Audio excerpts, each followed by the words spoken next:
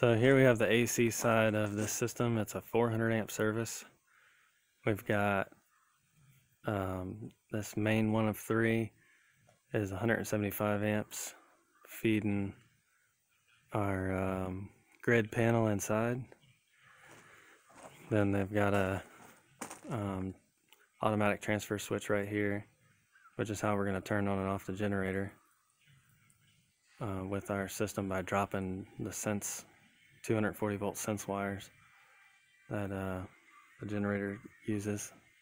Whenever it detects a loss of 240 volts, it turns on. So we're going to constantly feed that with 240 from our inverter protected load panel and then use a relay to drop that in order to start and stop the generator.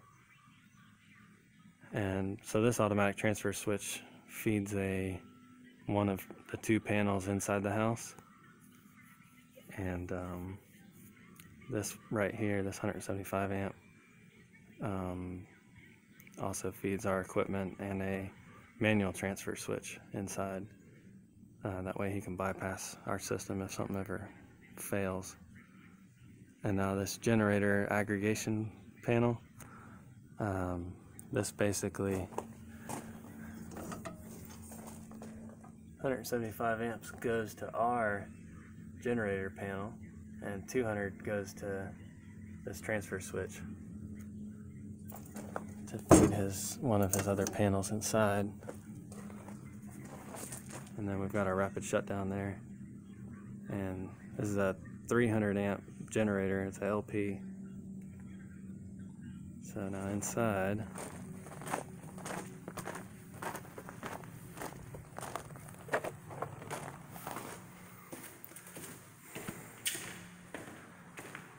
we've got a transfer switch. And basically normal is the grid.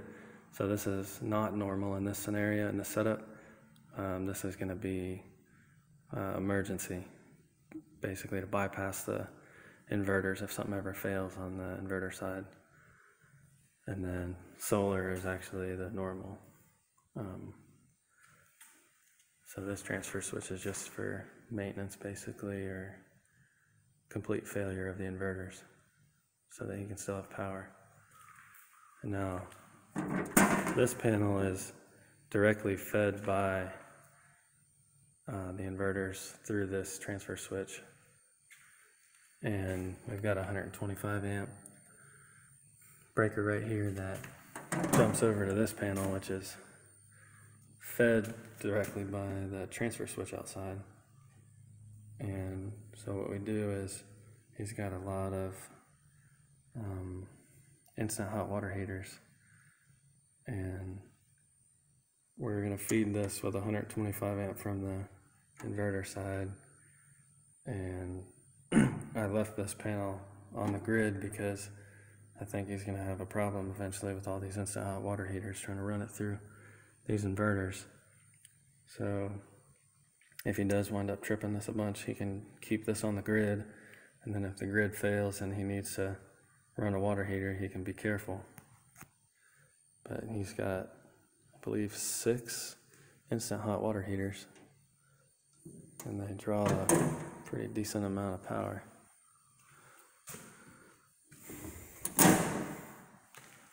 So these go up in the attic and into our equipment room. Over here, we've got five charge controllers and somewhere around 21 kilowatts of PV. It's 60 times 360. It's like just around 21 kilowatts. So our we've got four Schneider Conext Pros, XW Pros. And I did a wire trough here because when you go over three of these inverters, the panels that they sell you are kind of pointless. And it's a lot more economical to build yourself a trough and then use one of these MidNite Solar 1000 amp DC combiners. And our AC side that we were just talking about comes in here. This is just an aggregation of all that. So we could aggregate our inputs and outputs of these inverters. This is the uh, utility in. That's 175 amps in from that disconnect outside. And then here we've got our generator in from that generator distribution panel. And here we've got our load out from the inverters. We've got a little transformer here that I need to finish wiring up that is going to control this little relay, which is going to basically send 240 volts from our protected load out to that ATS, and whatever we want the generator to turn on, it's going to drop that 240, which is what the ATS uses to decide whether to start or not. And it'll start the generator, and then when we want to turn it off, we'll turn off this relay and it will resume the 240 to the generator sense and it'll shut down the generator. And I've got it on normally closed, so just has to turn on to, to drop that 240. Now here we've got a thousand amps um, coming in from the battery enclosure, and it's four four aughts on the negative and four four aughts on the positive. So we got 500 amp breakers here for our charge controllers, and we got four 250 amp breakers for our inverters.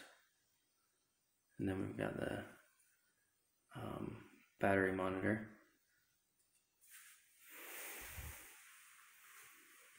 And this is a little gateway so we can monitor this thing, battery monitor, and the control panel. Each of the charge controllers. The way the knockouts are on these, they make it kind of hard to put it in cleanly, having to use LBs to we're kind of running out of room in this room in here. All this equipment, we had to mount the battery enclosure over here.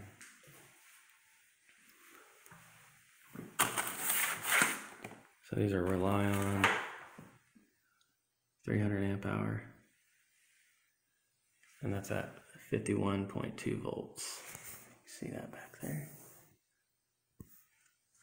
But this is where our home run comes in. So we've got our negative bus bar, four four aught wires, and this is a thousand amp bus, half inch by two inch copper. That goes to all our batteries. Uh, I custom built this rack just for this system. Had this plate lasered out for uh, all our disconnects, one for each breaker or one for each battery and it's lockable. Got a nice three point lock set up on it.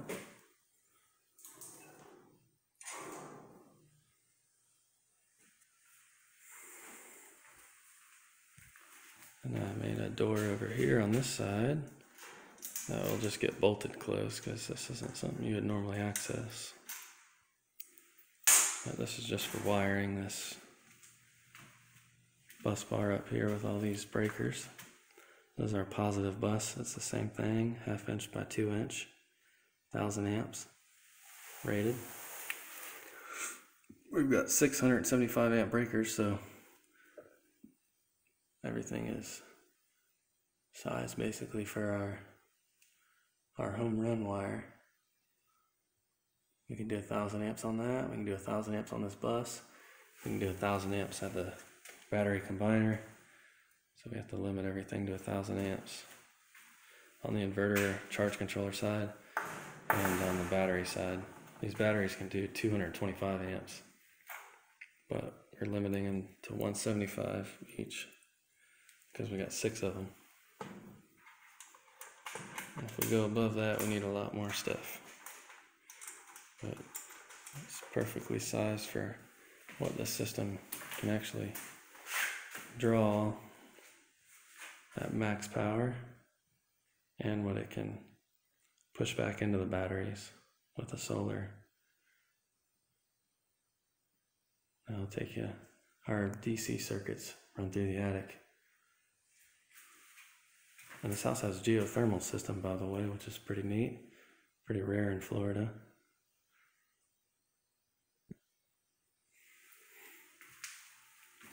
But our DC circuits go through the attic here.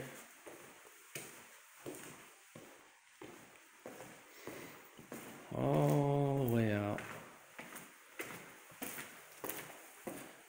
into the field where we mounted our Iron Ridge 3 inch pipe ground mount. Several hundred foot wire run. I think the array is uh, 130 feet from the house edge right here.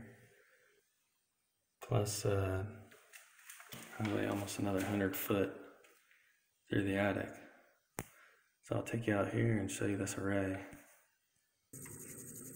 So here's the solar array. Now we added on this section right here that's a little bit different color. It's still got some uh, the film from the factory on it, so when it's got dew on it, it looks a little different. But about halfway through the job, he decided he wanted to make it bigger. So we had to tack on some more here. But this is 60 panels, and they're 360 watts each. That's around 21 kilowatts. And the reason this is so high is because they've got a 48 inch floodplain out here. So everything has to be mounted up pretty high. And even with that addition, it turned out flat as a sheet of glass. But this is a three inch Iron Ridge pipe mount. It's got plenty of bracing on it. We're in a 145 mile an hour wind zone down here.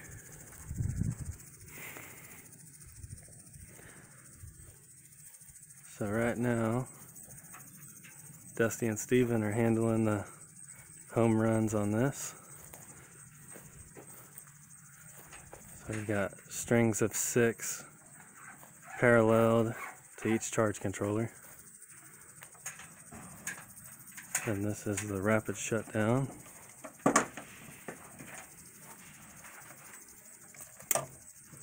Show them what's up in here, Dusty. Alright, we've got the orange wire going in here right now. PV out wire. Just making these home run connections. So our, our home run wires come in right here. He's hooking these up. These go out to the charge controllers. And them up a then- They're doing our all our PV wires going to come in through these gland seals, and this is the conduit that comes in the back of this box and goes down underground, and then out to the house there on that box and through the attic.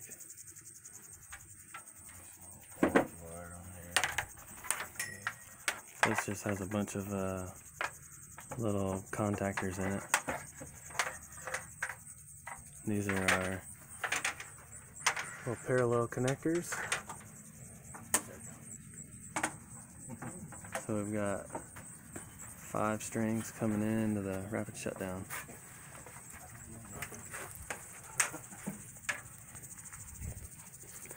I did 24 inch holes here with three foot deep, filled full of concrete.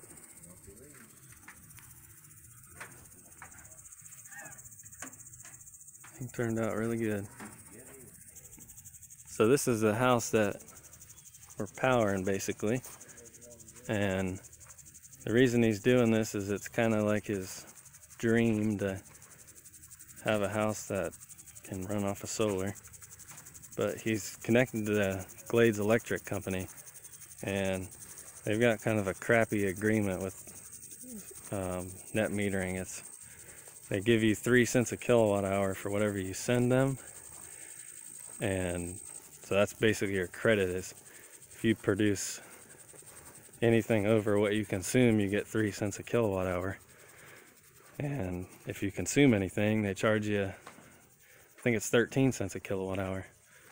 So we're gonna basically be operating in inverting mode and covering his entire load of his house.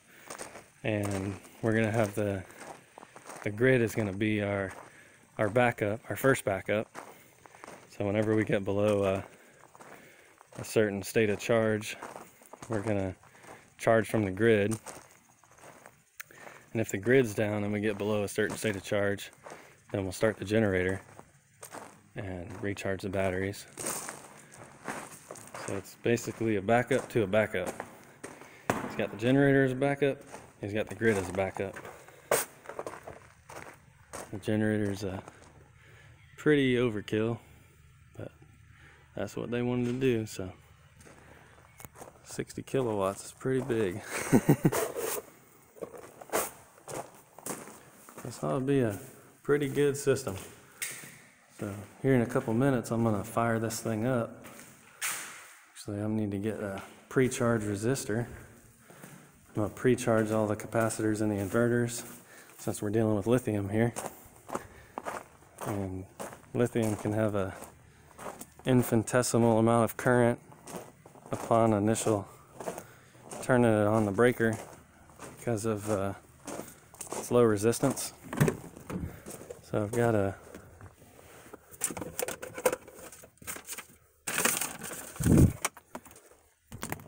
This is actually out of a Tesla. This is the pre-charge resistor they use for the Tesla car. I just had it laying around, so that's what I'm going to use. So what I'm to do is I'm going to jump one wire on the battery side of the breaker and another wire on the um, inverter slash load side of the breaker for a few seconds. That will limit the current that goes into the inverters and uh, basically the capacitors. And uh, it's for the safest method of the initial startup of a system. Because this isn't something that's going to get turned on and off regularly. It's just going to be like a basically the initial startup. We're going to need this. And then if he ever turns this whole system off for any reason, you should use this again. Um,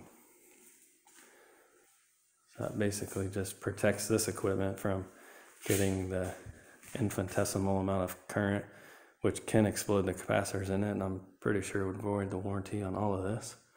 So we're going to use this as a safety precaution.